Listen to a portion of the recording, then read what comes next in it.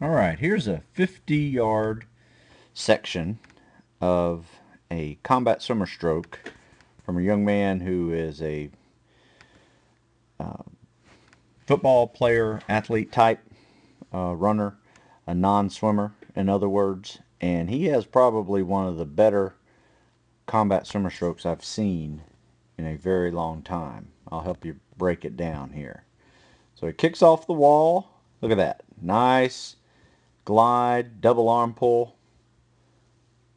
He kicks again, glides again, and then he comes up for that first stroke, right? So he gets that first stroke in there, comes up for a breath, kick and glide. So top arm, bottom arm, kick and glide. Hey, let's try it slow motion.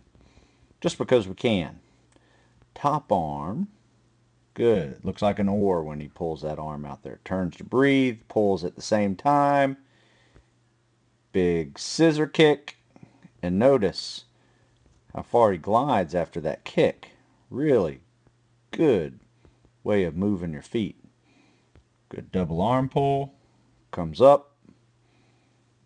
Top arm, bottom arm, kick and glide.